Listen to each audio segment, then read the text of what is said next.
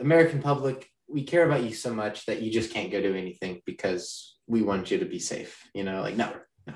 Look, Yeah. take out the damn knee pads, mom. I don't need them. Okay. Yeah.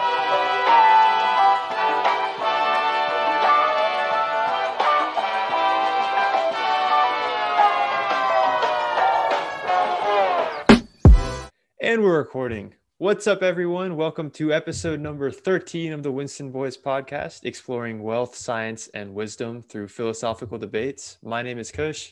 And my name is Alex. And today we're going to be talking about some interesting bioethics kind of stuff um, from COVID to euthanasia. So, got an interesting, some, some, some strange and um, inevitably controversial uh, material for you guys today. That was a that was a jump right there. It was. It was. It, it- we went from comp sci. We, we cover all kinds of random stuff in here. Uh, Yeah. the goal. Um. Yeah, I can't believe it's episode thirteen already. It's kind of wild, isn't it? I'm, I'm really surprised. Yeah. Seems like we just Longer than an internship. honestly. That's crazy. Yeah, it really is. Um. All right. So, uh, you want to get started with uh, just go in order, or Yeah, I'm good. I'm good. I think it's perfect in order, honestly. All right. So everyone, I'm sure you've kind of um I, I recently, I don't know how many of our viewers watched this, but I recently watched um President Biden's address to the nation. Um and personal personally, I think he did a very good job with it, but of course that's up to um up to personal opinion. Um but I did take um kind of issue with some some of the things he said about when COVID was going to be over. Um and I personally disagreed with him. And I kind of wanted to talk about, um, you know, because there are people who are, you know, already they're like, okay, that's it, no more mask, I'm taking it off, right? COVID's over, and it's like, "Ah, I don't think so, man. I don't know what planet you're living on. Maybe in maybe in New Zealand. Yeah. um, but like you know, the Texas governor, oh yeah, we don't need any more precautions. Uh, okay, see how that goes. Um, and at the same time, you have people who are like, well, you know, you know, Biden said, oh well, you know, by July fourth, you may be able to have a cookout with a couple close friends who have also been vaccinated. I'm like, know. Yeah, it's it seems a little bit like uh, I'm trying to appeal to to everyone now. Yeah, I, I think that I think that um yeah I don't know if you've seen the Mark uh, Mark yeah Mark Mark Zuckerberg's uh, smoked meats video. Zuckerberg, Oh, oh, oh, my bad. Yeah, sorry, keep going. Um, you know the, the video where it's like I'm smoking some meats, and he's just like uh, it's really funny if you ever look it up, but it's like it's like such a meme. He's like, oh yeah, I'm like a you know cool cool dad, you know, grilling on the back porch, smoking some meats, and it just sounds like so inauthentic. Like he's clearly like Yeah. never cooked before. I mean, he's literally a robot. That's yeah, that's he, what he is. He's like, I don't have this script. Please help. Yeah, Object not recognized. um. Anyway, sorry, I got a little sidetracked there. Um. Anyway, so I thought that a good a good place to start off is like, okay, let's talk about where we. Let's kind of abstract it a little bit because I think everyone's emotions are running a little bit high with COVID. I know mine certainly. are. I'm sick of this thing. I mean, I don't Yeah. think anyone like it. Like, you know, I'm all in favor of wearing a mask when the mask needs to be worn, but like, you know, I'm tired of it. you know, Like, Yeah. hey, get it off of me. It itches. Okay. um, I think you know. Um, so I think I think we need to kind of take a step back and look at it. So uh, you know, the end is in sight, but what is the end? I guess. Yeah. Uh, so, in my view, um, you know, actually, Kushagra, why don't you go and you give your view first? Because I've been talking a lot. no, no, that's. I mean, we, I I need a break. I'm out of breath. You go. Okay, I'll yeah. I'll, uh, so I mean, yeah, like, I, I guess I'm I guess I'm hopping in. Yeah, I know. I mean, you mentioned like the whole Texas the the Texas governor thing. I mean, I guess like I feel like with with that, like I feel like more so like he's trying to send like a message, and like maybe not just a message to like his supporters, but to the country that like, hey, like if you're sick of this thing, come here because it's over in Texas. You know what I mean? Like I think that's the I think that's the whole point of that. yeah, I think it's a political stunt somewhat too, which is not good when you're when people's lives are in the balance. Yeah. Um, all right, like yeah, we're owning them libs by ending the uh ending the mask requirement, but Yeah. I just liberals that live in I did. I did I did hear on the news though on, on Friday. What is it now? Like it's 60% of people over age 80 or 60 or something are vaccinated now. It's it's Yeah, getting. I, I, I heard something about that. I think it's God, I, I'm not gonna even try. 70 percent for some demographic. I can't remember which one. Yeah, yeah, it's I some mean, at risk Anecdotally, I demographic. mean, most of the old people I know are vaccinated, so that's really good. Yeah. And I'm thrilled about that. Honestly, I'm really excited because I get to go to um start going to Easter services with my granddad um because we both in a couple weeks because uh you know it's getting I'm Greek Orthodox and we're kind of getting close to our close to our Easter season and um you know, that's always kind of a special time of year, and I'm really looking forward to going to church with my granddad because uh, it's really important to him and it's important to me. And you know, haven't really been able to see him a lot because of COVID, and he doesn't really want to, you know, hug me or anything. Even when I go over, you know, it's kind of like, ah, stay over there, you might be infected. Yeah. So, uh, you know, um, it'll be really nice. I haven't seen him in person since I came to school, so. I'm excited. Uh, so yeah, the vaccine is incredible. Anyway, um, yeah, so I agree with you. Um, this is not the time for stunts. Um, but I would also say that I'm sympathetic because, I mean, the COVID guidelines are kind of insane. You know what I mean? Like in a normal time, right? If I, if I, all right, Kushagra, Kush, you need to you need to wear a mask around all your friends, and you can't go see your grandparents, and you can't eat indoors, and there's no reason for it, right? Like that's that's a terrible idea, right? Like no one no one would want that. You know what I mean?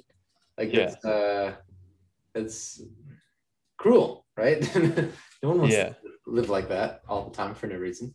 But there's a good reason right now, and, and that's that's a different thing, you know. Um, Yeah. But I think it's an it's a public health emergency. You know what I mean? And I, I say that in quotes because that's the words, right? Like I, I'm not saying like sarcastic. Like that's what this is. Is it's a Mhm. public health emergency. I'm emphasizing that because emergency. You know what I mean? And for me, at least, I think that the government has a lot of latitude when when it's an emergency. You know what I mean? Like, oh, there's this an imminent threat, right? Like existential. People, huge numbers of people are going to die. Our country could be very badly harmed. You know, in that case, the government has, you know, because you can't give a government every power it needs to possibly exercise during a crisis, right? So it has a lot of latitude in an emergency, right? Yeah. But once the emergency's over, you don't just get to keep that power, right? That's like uh that's some Palpatine shit, you know what I mean? Yeah. uh, you got to let it go. You know, you got to say, okay, well, look, deaths are below, let's say, uh, 300 a day. Um, most people are vaccinated. Yeah, we still have 10,000 cases every week, but like the emergency's over. So we hope everyone keeps wearing their mask and we hope restaurants stay closed, but it's not an emergency anymore. So we can't do anything about it. You know what I mean? Yeah. and I, to me at least, the the I think that I would be very, um, I'm fine with. I, I trust personally. I, I trust the government right now, and I think they're trying to do the best they can. Um, I would love to hear something like, "Oh, we'll give up our emergency powers here, and we will." You know, once this is no longer an emergency, look, we're the last ones who are going to try to, you know, make you do something you shouldn't have to do. Um, that's what I'd like to hear personally. What do, what do you think?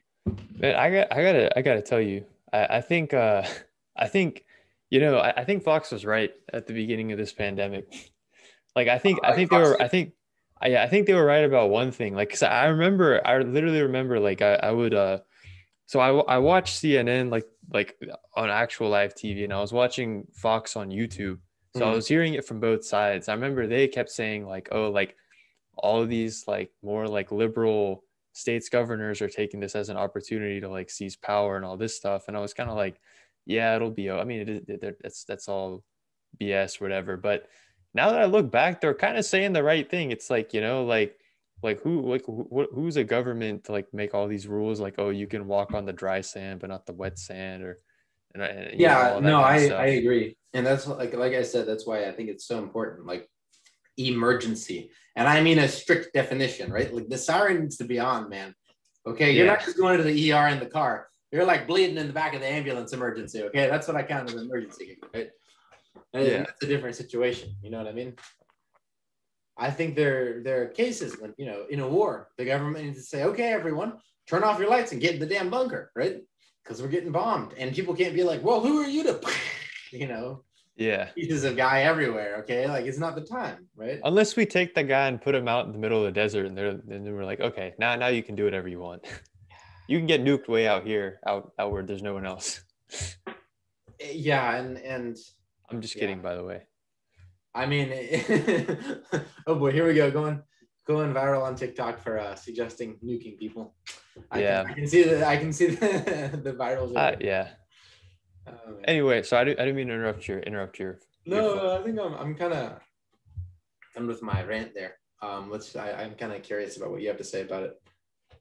Yeah, no, I mean, I, I agree with what you're saying. I don't, I don't think there's anything wrong with what you're saying. Like, I, I mean, I, it all makes sense to me. Like, yeah, I, I mean, I, I think we're kind of getting to the point where it's like, you know, like, I, I- think at some point, like the, you know, we have to get kind of creative and, you know, I, I think mandates are good because, you know, like when there's an emergency going on, forcing someone to do something can kind of help move things quickly. But uh, at least in my opinion, the way I, I think government should function is more like, you know how do we create incentives now for people to do the right things and uh, take a step back um, Yeah.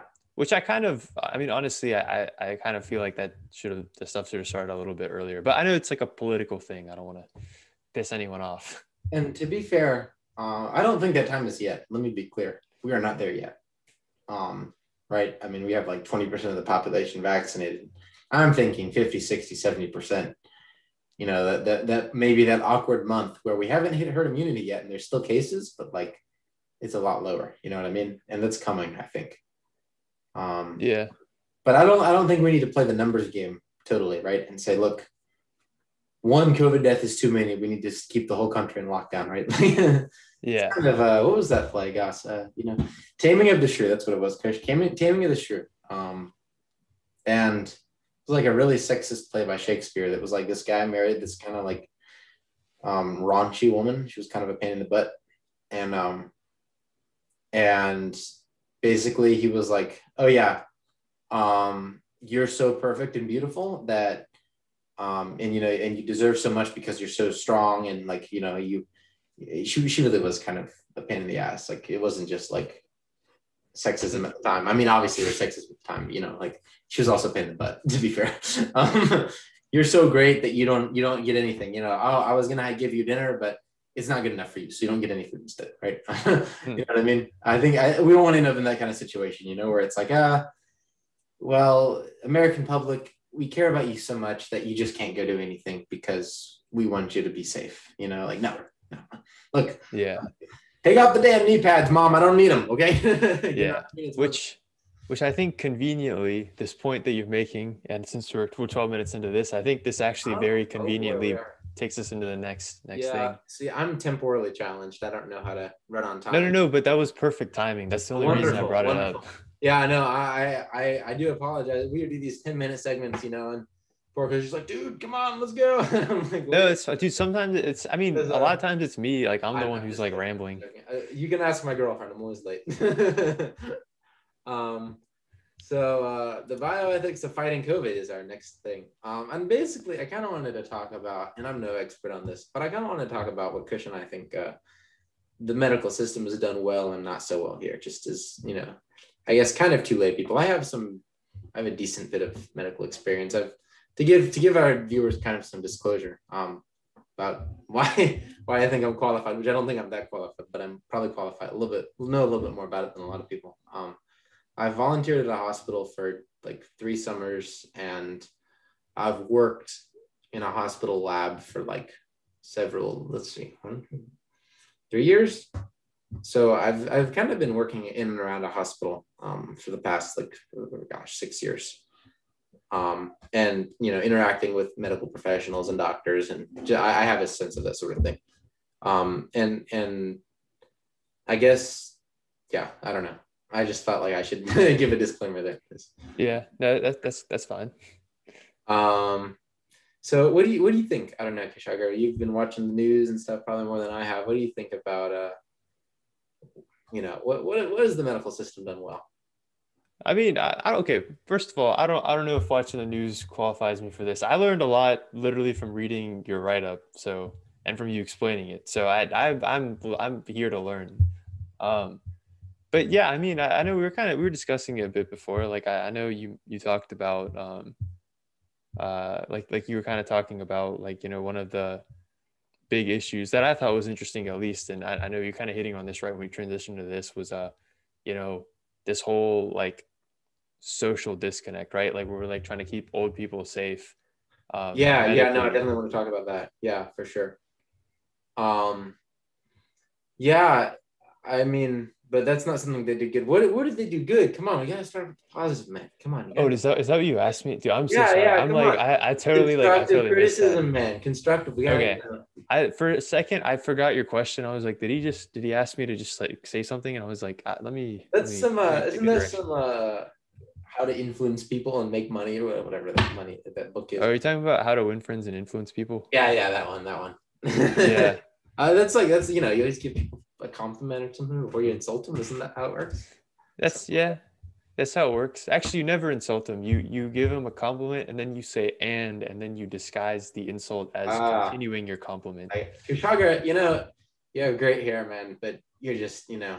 No, it's not no not but it's it's you have you have great hair and it would and be so awesome person. if you talked and it would be so awesome if you talked about the positives before the negatives. You know? There we go, there we go. Kushagra, your hair looks great today, man. And you know it would be so great if you talked about the positives before the negatives. So. Wow, that was a br- that was an awesome compliment. I didn't detect any criticism in there. I'm going to talk about done. the positives. Only compliments. Yeah. Anyway, uh, so to, to answer your question now, yeah, I mean, I, I think that the medical system did did you know like or at least I'm no expert, but like I think from like what I saw in the news, like it seemed they're doing like good stuff, right? Like with like um like once they started getting the ventilators around. I think the biggest thing that shocked me. I don't know if this is necessarily part of the medical system, but like the speed at which the vaccine came in and the fact that it's going to be like ready for all adults by the end of May, like that just blows my mind. Like oh, I, I, don't, I don't.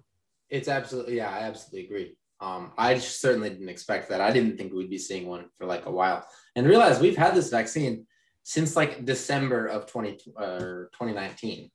I think is when this is when the Pfizer one like was first developed, and they were doing hmm. testing for a year. But like they had the vaccine like almost immediately afterwards. I don't know, maybe it was in December, but it was a few like a couple months after COVID like was detected. And they were like, okay, well we got a vaccine, let's start development.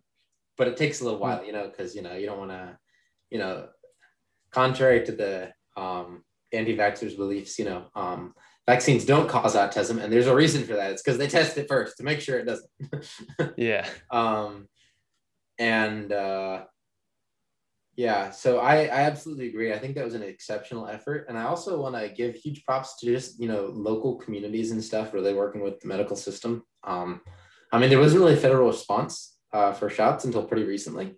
And there still really isn't. Like, I don't know, the Biden administration, I think they're really trying to get it there, but like federal government is big and slow. You know, I think it's like turning a big ship. You know what I mean? And it's like, yeah, like, yeah, I'm not trying to make this political, but like the Trump administration did not have like a vaccine distribution plan and Biden's like, oh yeah, we're gonna have a site and we're gonna have like you know a, a, website and we're gonna have like work with local leaders and you know like stuff like that. I'm like, okay, that's but, really good. We'll see if that happens, but that'd be really great if they could get that. But right now, there's basically nothing. It's just like, okay, I call Walgreens and ask for a vaccine. You know, like, um, it's kind of a mess. Yeah. You know what I mean? I don't know. I, I thought I could be wrong, but wasn't Trump like the I, I again I could be I don't know anything about the distribution plans, but didn't wasn't his administration the one that started like production of all the vaccines before they were approved? That way like they were ready to go? Or is that uh, i don't remember honestly i don't know. If he did that was a good idea and i, I, I thought i thought i remember seeing that on the news. I just wanted to um, be fair and put it out no there yeah i mean i think was... i think he did a pretty decent job of operation warp speed. I think that was pretty successful. Um, i don't want to give him too much credit for that because i think that the scientists did most of it I mean, he didn't develop the vaccine, right? And I always, it always kind of ticked me off. It was like, yeah, I made this great vaccine. No, you didn't, dude. You had told us to inject bleach. yeah. That's your understanding of medical stuff, okay? So zip it. But I mean, he did do a good job of deregulating the whole thing, which normally I'm not in favor of. But again, emergency in flashing red letters, emergency deregulation is fine with me. You know what I mean? Yeah. Um, and this is a flashing red letters emergency. Okay. Like the siren's on. Okay. Like I said, the siren's on I'm okay with deregulating the process a little bit to speed it up. Okay. Yeah. I was one of the first people to get the vaccine. I had a little weird side effect from the second one, but I was fine after like a week, and I was, you know, I'm really happy I got it. Great experience, and everyone I know who's gotten it has had a good experience. So it worked out great. Um. Yeah. Now let's go to the negatives. What do you think? Fish, what do you? What's the and? What's the and? yeah. Oh, okay. That's like a callback. Yeah, I mean, so I this I think again I'm going to bring up the same thing. I thought the most interesting thing that that you had brought up, and I think one of the coolest angles is literally just like the the lack of regard for uh for mental health. And I'll throw in another example too. Like I know there's like a YouTuber who who's like fighting like for for uh, keeping his gym open in California. Like his name is Bradley Martin, um, and he's had a whole thing where like when COVID started, he shut down his gym for like a month or two, um, and then he he said and he opened it back up and he put his own restrictions in place, even though California said all the gyms had to close down. And he was like, "There's like young, healthy people out there who need to go to the gym, who go to the gym for for their mental health, like they suffer different like mental health issues, and the only thing that keeps them from taking these different drugs and stuff is going to the gym." Yeah. Uh, and so he's been like having like he I think he he's gotten sued or something by like the by either like Los Angeles or the state of California, and he's fighting to keep the gym open. Um, huh. But I was going to throw that out there as like another story of yeah, no, that's really cool. Thank you for thank you for sharing that. Yeah, I mean, there's people like that, um, and I wouldn't even say necessarily the gyms, but I would say um, uh, and this isn't related to medicine, so I don't want to criticize the medical field for doing this. This is this is policy making, right? That wasn't that wasn't the hospitals telling me, you know, the hospitals like the doctors didn't march out and be like, "Hey, you, shut down your gym, or we'll beat you with our stethoscopes." Okay, like yeah, it is the government. Okay, um, but I I think that uh, you know, again, not criticizing the medical field for this, but um, I think that uh, the um I think that it's really important to realize that um, you know the impact this had on kids too, on like young children, right? I mean, mm. imagine missing a whole year of school and you can't see any of your friends. Like that's like bad for kids. Yeah. Um, and a lot of these people, like, you know, especially like disadvantaged children with like, you know, maybe, you know, mom works and dad's an alcoholic or something, you know, what do you do? Right. Who's, who's making you do your work? You're nine years old. You're not accountable for doing your own work. Someone's got to make you do it, you know? I was sure wasn't I shit. I'm not accountable now sometimes. yeah. you know what I mean? oh yeah. Um, but you know, like at nine, especially, you know, I wouldn't have done anything if someone hadn't told me to do it. I have no idea why I'm doing that stuff. You know why it's important. You're a little kid. And uh, you know, that's that's a failure of the government to say, look, we gotta we gotta take care of disadvantaged kids. Look, let let parents choose to send their kids to school. Um, in a safe way, the safest way we know how, right? But those kids are important, you know, um, because it's not the it's not the you know necessarily the rich white kids the rich white kids in Lewisville who are struggling with that. You know, it's it's the kids who went to, who grew up next to Hanes. You know what I mean? And they're already yeah. suffering from enough. You know, I mean, it's I, I honestly think COVID has been terrible for marginalized communities and stuff because if you're already at a socioeconomic disadvantage and then like all of a sudden you may or may not have computers at home for your kids. You may or may not know how to work them. You may or may not have to get internet access, you know? And all of a yeah. sudden they're like, yeah, well, if you don't have internet access, I guess you're not going to class, you know? If mom and dad aren't home to watch yeah. it, I guess you may not go. It's up to you. Dude, I, I gotta, I gotta, yeah, I, I got, I gotta tell you, like, I actually, I was in Winston last night to just have like dinner with my parents and I, I mm-hmm. was coming back today and I just thought it'd be cool to drive by downtown when I was coming back and I literally remember, so I was going through downtown. You know, they have all the bridges and stuff they're working on. It looks really pretty. Mm-hmm. Uh, it, like it feels like a bigger city now, which is kind of cool. Um, and as soon as you get past that last bridge, right, and you get over the hill, like you see, you know, you're going over 52, and now you can see the east side of 52. It's like grim. Like the sky turns gray. Like it's just like old, uh, crappy, like buildings and trees and yeah. pines. Like no, I mean, Winston it's awful. Is a it's a very gentrified. I mean, I went on a run today, and I mean, I was like running, and I was like in West. end I don't know if you that we know where that is, but it's like right by the hospital. It's right, yeah, right, yeah. right by Brunson, and um, I mean, you cross the highway, and it's like all of a sudden you dropped a couple of zeros off the income level. You know what I mean? Oh yeah. And it's like, you know, like wow, like these people. I mean, think think about it. Like you know, I mean, a it's bad that our city's so gentrified. Um, and, and, and it's quite frankly a symptom of a racist society um, because you know uh,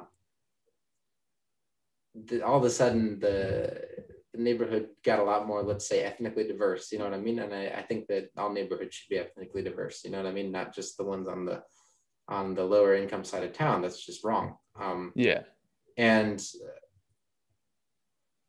the uh, the the thing is, right? I mean, those people suffer a lot more, and as a society, we've we've really failed, right? I mean, for one, they're on the front lines anyway. They're at the grocery store, and you know, the the guy walking around without a mask is breathing on them. And for two, like their kids are the ones who are suffering because they have to work. It's not their fault, like right? I mean, you know, mom and dad got to work, right? Yeah. Well, Johnny's not gonna get not gonna get the help he needs at school, or you know, what if you're a family that doesn't speak much English? You know, um, that's you know, um, I mean, imagine, because imagine your parents had just come from India, you know what I mean? And they really didn't speak English. And now, fortunately, you don't have that problem. But imagine all of a sudden, you know, you're like taking taking classes at home in middle school, and like your parents don't understand the teacher. They the teacher doesn't understand them, right? Like the teacher's probably prejudices against them, you know, or might be like, what are you supposed to do? you know? Yeah, I mean, I mean that happens. That I mean that still happens like to us in like real life. I mean, yeah. like even you call a restaurant, they're like you like like my mom will say something like uh, like slightly off or something because obviously you know when you grow up speaking a different language course, like of course you know and then like the restaurant person will be like huh like what'd you say you mean mayonnaise like yeah. up like what what yeah, don't be a dick about it no i i agree yeah your mom's the coolest lady and deserves so much better from, than that yeah um, but yeah but, I, I anyway um yeah no and i'm and you know imagine doing that over zoom with a teacher who's overworked okay uh, you know, I ran into one of my old teachers uh, while I was on a run, Mr. Fisher. Did you take stats at the Career Center? No, I, I didn't. I didn't. I didn't take okay. that. So I had this teacher in high school, Mr. Fisher, really cool guy, a little bit nerdy. Um, I had I had a good time with him. I just called him Fisher. We were kind of buddies. Um, nice. and he was, he was a cool guy. I liked him. Um, and anyway, he, he's a runner too, and so I ran into him while I was running it uh, over in the Reynolda Gardens, and um, the guy, uh, the guy was like, yeah, I was like, well, how's teaching at, you know, Pearson? He's like, well, you know, I've got class of 60 kids and it's all virtual. You know, hmm. I teach eight classes. really? Yes. He's, wait, he's still, like he's teaching eight classes with eight classes kids? of stats. No, not two. No, no, sorry. No, I think, no, it is eight classes. And it might've been nine classes. I can't remember, but the point is one of his classes is doubled up. Like he That's has to get a double class for one of them. And because everybody's like, oh yeah, you can do it. It doesn't. And it's like, how are you supposed to give kids like freaking individual attention when you have like 200, excuse me, 200 of them, right? And right now, yeah. kids need personal attention more than ever, right? Again, especially if you're in a situation where, you know, you may not have grown up speaking English or you're socioeconomically disadvantaged or, you know, I mean, your parents don't know stats, or I mean, my parents didn't know stats, but, you know, like you know, maybe you need tutoring, right? And you can't ask mom and dad because mom and dad didn't get that far in math, you know? Like my parents, my parents, they, like I said, my parents, yeah. that's, um, did you want to, um, you want to, oh, sorry, sorry. Yeah, we can move on. We can move on. No, I was gonna say I, I was gonna say because I think this is this is just a cool thing, a cool conversation. Yeah. So yeah, I was just gonna see where, where it went. But you wanna you wanna uh you want an, an interesting update on on a teacher like who, who who you probably know? Yeah, yeah. AP AP World History with Miss Martin. Guess what's happened to that class? What happened? I was I was talking about because my brother's taking it right now. I was talking oh, to really? him. Oh. Yeah, he submitted this assignment, right? That, that, the class yeah. was awful. He didn't take it. It was not fun. Yeah, like he he so he's taking it over Zoom with Miss Martin, right? Where yeah. she can like hardly give personal attention and like uh-huh. apparently she doesn't really give a crap anymore. Yeah. And so like I remember he was telling yeah. me like there was an assignment and he like he worked his ass off on this assignment, right? But you know how like she has like that rule for like those certain assignments where you have to like highlight the the different words in your like the specific historical evidence in your assignment. You remember that rule? So, I so don't he, think we had that rule at the time. She hadn't developed it yet. okay, well, she has it now. She's the type that keeps. She has a lot of ridiculous rules, and she like keeps adding them. Yeah, well, anyway, mm-hmm. he didn't highlight his evidence, but he worked like extra hard on this one. And he like it was I think he said it was like late at night or something and like he just forgot to highlight his evidence. Dude, I would totally so he, he gets a 0 on it. And this is the one he's worked the hardest on. And he goes to her and he's like, why did I get a 0? He's like, I thought this was the best one I ever like wrote. And she was like, You didn't highlight your your sheet, like your specific historical evidence. And he was like, Oh, but like what was wrong with the paper? She was like, I didn't even read it.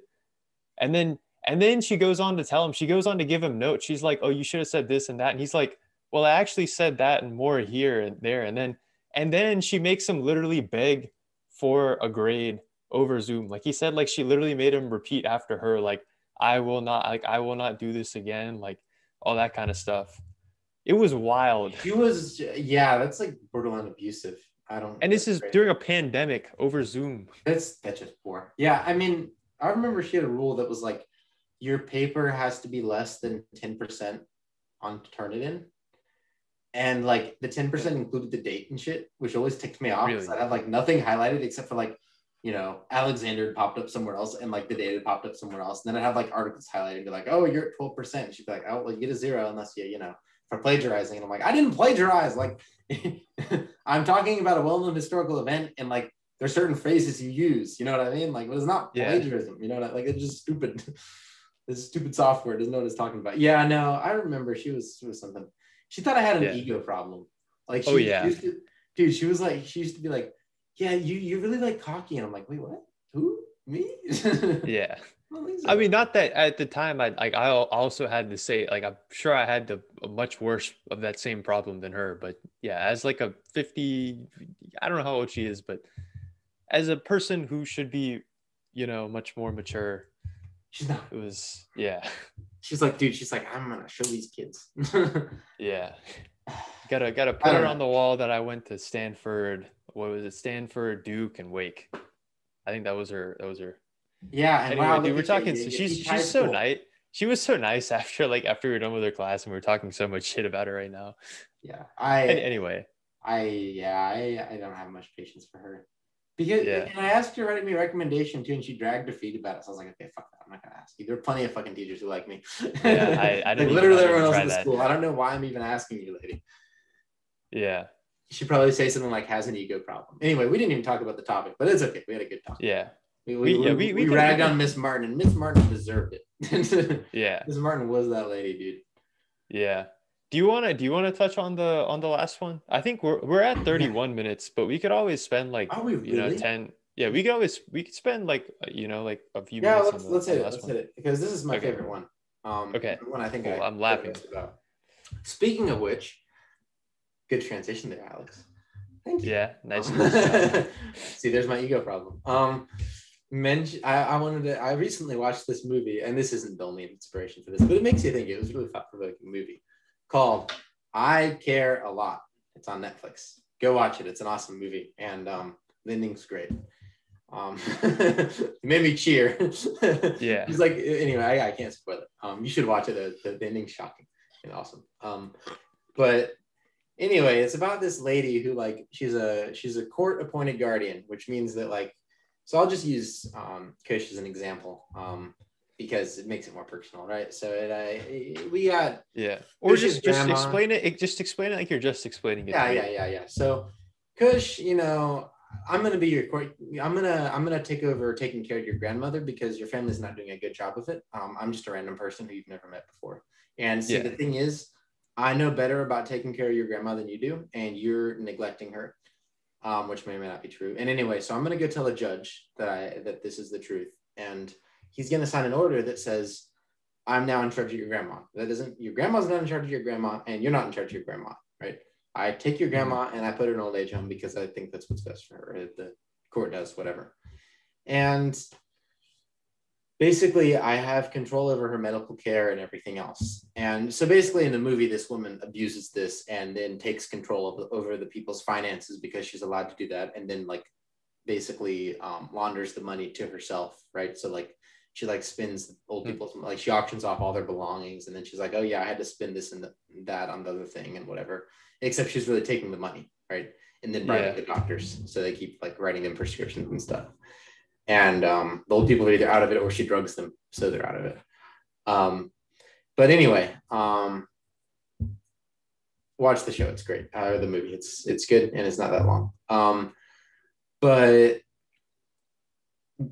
the point is, I think that oftentimes um, in these situations, um, right? I think our current medical system really over prioritizes maybe um, safety, right? And the reason I say that, that seems like a terrible thing to say. The reason I say that is because um, the way these places keep track of statistics is they say, look, um, how many falls have you had this month? How many deaths have you had this month, right? They don't ask you, how much do your hate patients hate living here, right? How Yeah. how many of them are bedridden because you won't let them out of bed, not because they don't want to get out of bed or they can't get out of bed, but because you keep them in bed for their own safety, aka so you don't have a fall this month, right?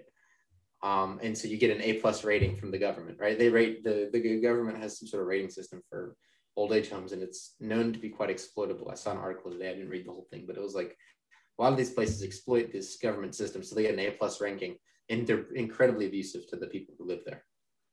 Um, Hmm. because they don't really have any advocacy, right? They've been shoved in this home oftentimes against their will and declared incompetent, right? Um, I don't know. I could give you a chance to weigh in. What do you think about all this so far?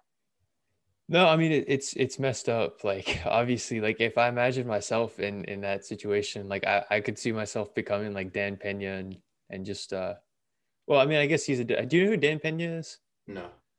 He he's like this really old billionaire guy with a really short temper. Uh any, anyway, he he's just like there's like like just as an example, there's like a clip of him. He lives in this big mansion that he calls the castle, and like one of his employees is like, "Do you really think we should do this?" And he's like, "Who the f- do you think you are?" Who like, and he's just this old man, like just like six two, just raging on this guy.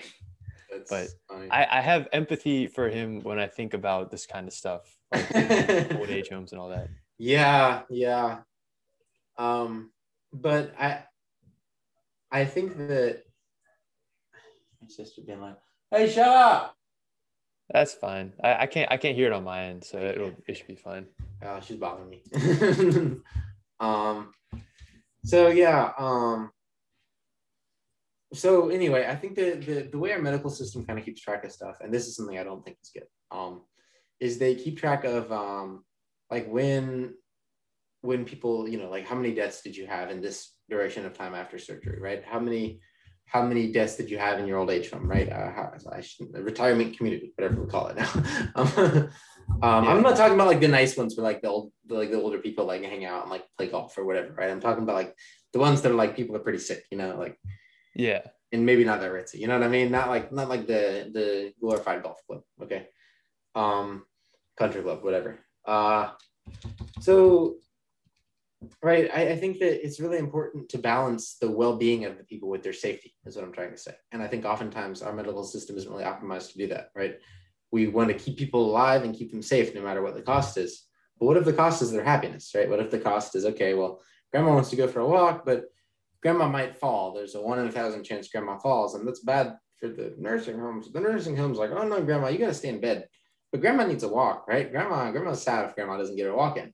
So like, should grandma be able to take her walk? Yeah, she grandma should be able to take her walk, right? And um, Yeah. you know, keep an eye on her, but you know, let people make their own decisions. I don't know. Um, when they can, you know, of course. Yeah, I, I'm confused too how did that how this works from like a, a legal perspective. Like, because at what point, like, like what what has to be done that like you can like go from being an adult with freedoms to like being someone who's like incompetent and like not able to make decisions for yourself. So my under I don't know much about the process, but there's a hearing and the judge like like they usually oftentimes they'll do like an examination or something. Um actually you don't have to be present, is my understanding, um, in certain conditions, which is how in the movie the lady was supposed to was able to um take over the lives of very competent individuals. Um, because they wouldn't they didn't have to show up for the hearing. Um, of course that may or may not happen in real life, I don't know. Um, but if it is, it's messed up. Yeah. Um, I think that it's really important um, to be very careful in applying these labels like that.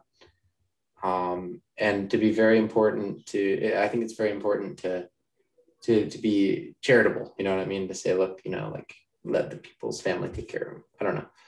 Um, but I guess another, another story, I guess, I guess it's, it's kind of story time today. I don't know why. Yeah. Um, I'm just doing fine. like a story time. Uh, another story I read about was um, and this was a while ago in my bioethics course, which is one of my favorite. If you ever get a, if you ever get a chance to take a bioethics, take it. It's awesome. At least my my class was. Um, uh, this guy, uh, um, he he was in a hospital. Um, and he was he had a he had a life saving operation. Okay, I think he I think it was open heart surgery or something. Anyway, um, it left him brain dead. Unfortunately, the operation didn't go as planned, and um, he didn't really make it out in any sense of the word alive, except for his organs were still functioning. Um, and it became clear very quickly that he wasn't going to recover. Unfortunately, um, the doctors were in a pilot program at this hospital where they were allowing new types of procedures to be done there that hadn't been done there previously. Um, and I forget the details, but basically they were seeing how the hospital performed, right? And they were going to have a review and see if the thing could continue there. Um, and so they wanted to have good outcomes. And there are certain criteria here that's like, you know, did the patient die due to the surgery, right? Right, and how long afterwards, et cetera. And it turns out that after a year and a day or whatever, I think it was a year and a day, on a year and a day, it's in a different category if the patient dies. Mm. And so it might even be, it might have even been a few years. I think it was a few years they kept this poor guy alive. Anyway, I, I don't remember. Um, but they would, they kept him alive and they kind of strung his wife along. We're like, yeah, well, you never know what could happen in these situations. We can't face, say for sure, 100% certain he won't come back, you know. Um, he still seems in good health, you know, physically, you know, kind of giving her hope, false hope that he would reemerge, um, you know, from this breathing corpse that he had become, right? And um, and so they kept him on life support um, and and bankrupted his family and everything to keep him on life support. And the reason they were doing it is because they wanted to get to that next threshold, however long it was. They wanted to keep him alive until he had been alive long enough that he wouldn't fall into the bad category of surgery survival. Um, you know what I mean? And so I was like, at the time, I had a really like positive because I mean, I've, I've had a really positive experience with the medical community um, when I've worked there and stuff. And I was like, wow, really people do this? And it was really shocking to me. Um, I don't know, but I thought it was really sad. Um, I don't know. What do you think of that about cases like that? Yeah, no, I mean, it's messed up. It's messed up that, that like some, something like that can happen all for funding. Um, and I think it just shows you the dark side of humanity. Yeah. Um, I will say I'm I'm happy that we slipped in that that last uh, that last little bit there, um, and I, I, know we're I think we're at a uh, 41 minutes uh, now. So if you want uh, if you want to share like any closing thought, we can probably just wrap it up. We can wrap it up. Um, I'm done. I've talked enough for one day. No, it was that. That was a really in, like interesting story. I thought. Like, I, thought. I. It was. It was kind of Alex story time today, and I. That wasn't. No, no, no. It was definitely. It was some Alex story time it, it was, and they were interesting stories. Yeah. No. They, it was all. It was all interesting, and I would have never heard that if it wasn't from you. So. Yep. But. Shout anyway, out to Dr. Cadlack. What a cool guy. I've got him again this. Yeah. He's a. He's a cool professor. Yeah. These classes. So. Yeah. Really interesting. Well. Oh, sorry. Go ahead. I said it was a really interesting uh, paper we read that, that, about that guy. Yeah, changed my perspective. Anyway, yeah, go ahead. Outro. Let's do it. Yeah, I think you're you're first. Oh yeah, I am first. Ah, shoot. yeah. Uh, well, thanks everyone for uh, listening in today. Uh, we had a really great time, kind of rambling about different bioethics things. Uh, had some Alex story time, um, and talked about COVID a little bit, and you know, when does that darn government get to quit fooling our lives? You know, and we're glad they're there, but you know, government, one of those things. You can't live with them, you can't live without them, you know. Anyway, um, so all you man. Yeah, and if uh, if you enjoyed today's video, make sure to go find Ted Cruz and grab him and smash the absolute crap out of like button with him. Uh, I don't I don't know where that I was just because you're talking about Texas and I was just like you know it, it might be a good good callback. Anyway, if you enjoyed today's video, uh, you want to show some support, please make sure to smash that like button. Um, and make sure to hit the subscribe button and notification bell. That way, every time we post on Sunday at 9:30 in the morning, you get a little notification. You click on it, it takes you straight to the episode, and you can listen to it while you're cooking, cleaning, driving, whatever. Uh, super easy. Um, and uh, that's all from us this week. Uh, we'll see you guys next week. Bye bye. All right. Bye bye.